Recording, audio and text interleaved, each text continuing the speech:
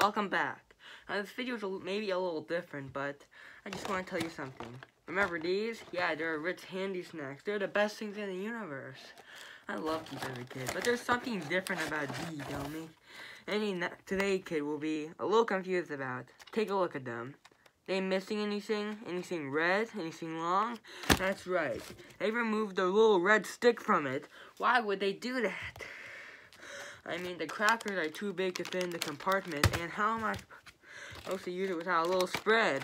I mean, 90s kids had this, early 2000s kids had this, almost everyone had this, but kids today can't have this. Yes, I am lucky to have one myself, but why? And other kids need to have this in their lunch boxes too. I can't. I don't know why Ritz decided to remove it, but I think it's because of a choking hazard. But so. Why would kids say? That's stupid. It's like the Kinder Egg thing. Why?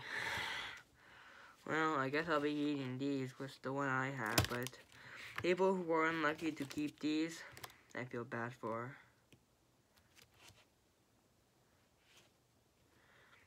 Let's, let's do a moment of silence for Ritz.